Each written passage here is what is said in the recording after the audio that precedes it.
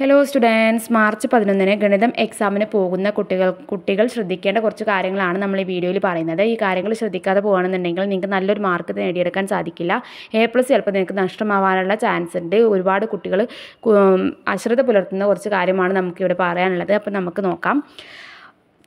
അതായത് നിങ്ങൾക്ക് മാർച്ച് പതിനൊന്നിന് രാവിലെ ഒമ്പത് മുപ്പത് മുതൽ പന്ത്രണ്ട് കാൽ വരെയാണ് ഗണിതം എക്സാം നടക്കുന്നത്. ചിട്ടയായ പരിശീലനം ഇപ്പോഴേ നിങ്ങൾ തുടങ്ങിയും മാത്രമേ മുഴുവൻ സ്കോറും നിങ്ങൾക്ക് എളുപ്പത്തിൽ നേടിയെടുക്കാൻ സാധിക്കുകയുള്ളൂ.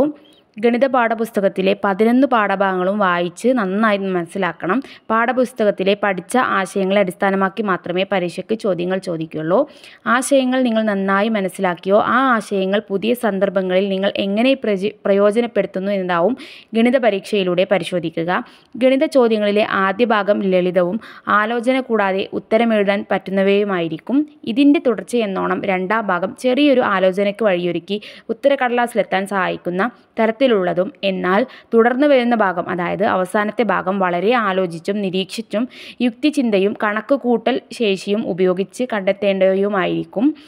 അപ്പോൾ ഇത്തരത്തിലുള്ള ചോദ്യങ്ങൾ വളരെ ക്ഷമയോടെ വായിച്ച് മനസ്സിലാക്കി വേണം നിങ്ങൾ ഉത്തരം എഴുതാൻ വേണ്ടിയിട്ട്. അപ്പോൾ ഇതാണ് നമുക്കിവിടെ പറയാനുള്ളത്. അതായത് ആദ്യത്തെ ഭാഗം എന്ന് പറയുന്നത് വളരെ ഈസി ആയിട്ടുള്ള കാര്യങ്ങളായിരിക്കും എഴുതാണ്ടായിരിക്കുക. പിന്നെ കുറച്ചുകൂടി ടഫായിട്ടുള്ളതായിരിക്കും അവസാനത്തെ ചോദ്യങ്ങൾ എന്ന് പറയുമ്പോൾ കൂടുതൽ മാർക്കിനുള്ളതും കൂടുതൽ ചിന്തിച്ചിട്ടും കൂടുതൽ വഴിയൊക്കെ എഴുതിയിട്ട് ചെയ്യേണ്ട ക്വസ്റ്റ്യൻസ് ആയിരിക്കും. അപ്പോൾ അതിലാണ് നിങ്ങൾ കൂടുതൽ ശ്രദ്ധ പുലർത്തേണ്ടത്. അപ്പോൾ ഈ ഒരു മെത്തേഡ് നിങ്ങൾ ഉപയോഗിച്ചിട്ട് പഠിക്കുകയാണെന്നുണ്ടെങ്കിൽ നിങ്ങൾക്ക് നല്ലൊരു മാർക്ക് തന്നെ നേടിയെടുക്കാൻ സാധിക്കും.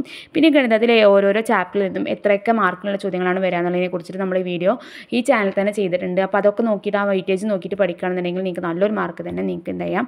നേടിയെടുക്കാൻ സാധിക്കും. അപ്പോൾ ഇത്തരത്തിലുള്ള വീഡിയോസിനായിട്ട് നമ്മുടെ ചാനൽ മറക്കാതെ സബ്സ്ക്രൈബ് ചെയ്യുക. Thank all